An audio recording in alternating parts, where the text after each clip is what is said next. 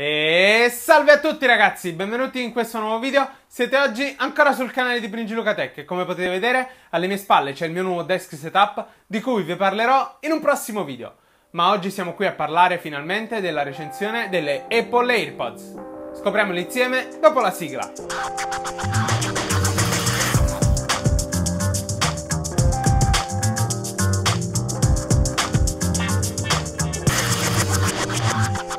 Dopo essere stato all'Apple Store per risolvere quel problema di cui vi ho parlato nello scorso video, appunto vi lascerò il link qui da qualche parte, siamo oggi qui per parlare della vera e propria recensione su queste Apple AirPods e le mie opinioni appunto su di esse. Partendo proprio dal packaging, all'interno di questo troviamo, oltre alle Apple AirPods, il classico manuale di istruzioni ma state attenti perché mancano le mele e un comodissimo cavo Lightning per ricaricare le nostre cuffie e tutti i nostri dispositivi iOS. Ragazzi, qui su YouTube ci sono centinaia e centinaia di recensioni che parlano di questo prodotto e dell'ecosistema che è riuscita a creare la Apple e io sono qui ad aggregarmi a loro per parlarvi di questa magia che appunto è riuscita a creare. Per magia tutti noi youtuber intendiamo la sua velocità di collegamento con tutti i dispositivi Apple all'interno del nostro ecosistema. Ma non solo, anche per la loro velocità di funzionamento e la loro intuitività. Sicuramente quasi tutti voi conoscono la modalità di collegamento con uno dei dispositivi all'interno del vostro ecosistema, ma per spiegarlo ci metto un attimo, quindi basta aprire il loro cofanetto, estrarre una delle due AirPods, inserirla nell'orecchio e il gioco è fatto, il collegamento è stato effettuato in automatico e quindi non bisogna fare nient'altro. Effettuando dei test per vedere la vera e propria differenza sonora con le classiche cuffie che escono all'interno dell'iPhone, Beh, questa è molto molto elevata, dato che le AirPods hanno dei bassi molto più corposi e degli alti molto più lineari.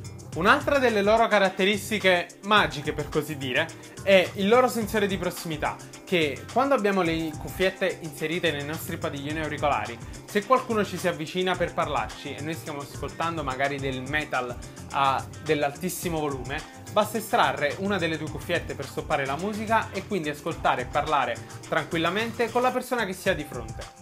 Personalmente ho utilizzato queste cuffie in tutte le mie fasi della giornata, addirittura quelle sportive dove i più pignoli magari evitano di utilizzarle per paura di perderle.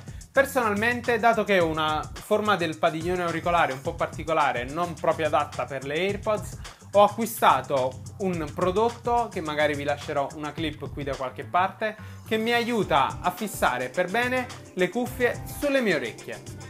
Questo prodotto non è altro che un archetto che va a girare intorno alle orecchie per poi fissarci le AirPods all'interno ed evitare di farle cadere.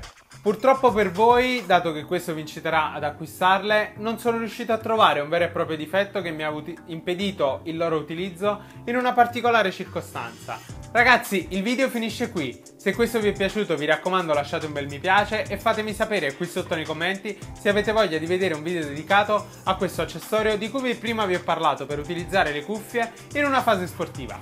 Vi raccomando, se non l'avete ancora fatto, iscrivetevi al mio canale. Noi ci rivediamo sempre qui domenica prossima sul mio canale YouTube.